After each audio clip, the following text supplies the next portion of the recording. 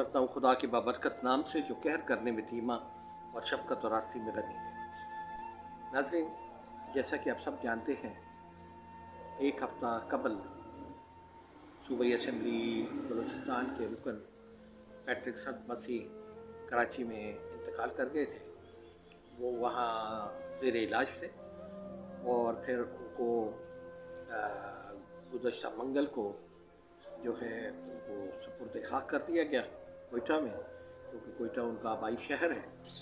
Patrick संत मसीह ने चार बेटे और एक बेवा सोगवार छोड़े हैं।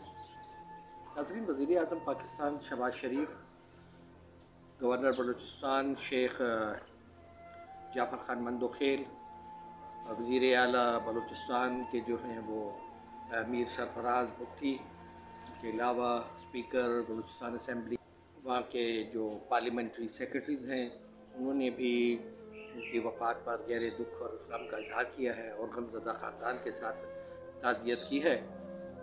इसके अलावा कायद अकलीत, पाकिस्तान पीपल्स पार्टी के कनाडा के जो नायब सदर हैं खालिद गिल साहब, उन्होंने मुझे खसूस तौर पर फ़ोन करके पैट्रिक साहब की वफ़ात पे ताज़ियत की। इसके अलावा बलूचिस्तान में जो जमीत इस्लाम पाकिस्तान के जो कोऑर्डिनेटर हैं, जो ऑर्गेनाइज़र हैं अकलीती अमूर के, और वहाँ की मजलस शुरा के मेंबर भी हैं ग्रेगरीन हुसैन साहब, उन्होंने भी मुझे खसूस तौर पर फ़ोन करके अपनी दिली ताज़ियत का इजहार किया। तो पैट्रिक साहब जो हैं, उनके साहबजादे, उनसे मेरी बात हुई ज़करिया पैट्रिक से। उनके भी जो है, इरादे बड़े पुख्ता हैं वो पाकिस्तानी मुस्लिम लीग के बड़े के कारकुन हैं।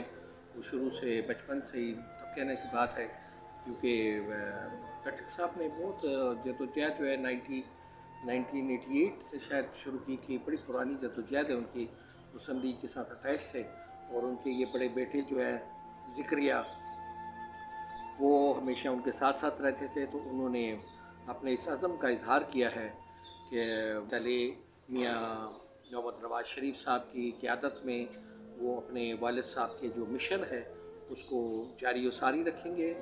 और हम, मैं ख़ुद अपनी तरफ़ से, अपने इदारा हम आवाज़ की तरफ़ से उनके साथ मेरी पूरी दिली हमदर्दी है। पैट्रिक साहब मेरे भाइयों की तरह से बड़े, और खुदा उनको अपने जवार रहमत में जगह दे, और उनके सारे सोगवार ख़ानदान को, जितने भी हमजदा ख़ानदान के मेम्बरान हैं उनको ये सदमा बर्दाश्त करने की तोफ़ी अता फ़रमाए।